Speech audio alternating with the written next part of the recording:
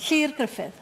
Uh, diolch Llywydd. Uh, dwi am gofyn... Thank you, Llywydd. I want to raise the issue of sustainability of health services in rural areas with you, if I may. There is a surgery in my region in Corwen which serves 4,000 people in the area which borders Gwynedd, Conwy and Denbighshire. It's a very rural area.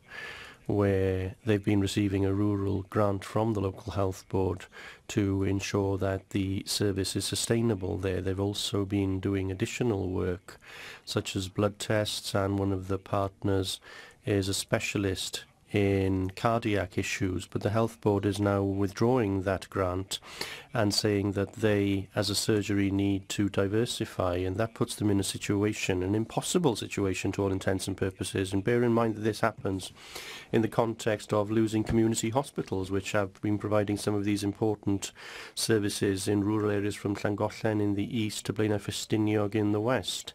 So may I ask you to ensure that the Health Secretary brings a statement to this Senedd as to what support the Welsh Government is providing to ensure that health services such as those in Corwen can continue to be sustainable in rural areas.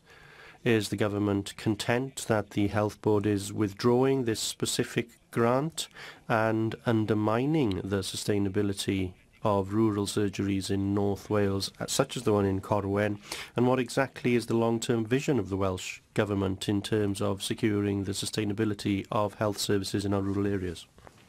Well, it's important to, uh, in response to that question, to, to recognise that the Health Board is working in partnership with the GP practice in Corwen to agree ongoing funding support in line with the Welsh Government's GP Sustainable Assessment framework and that should help the practice continue to provide a service for residents of Corwen and the surrounding area.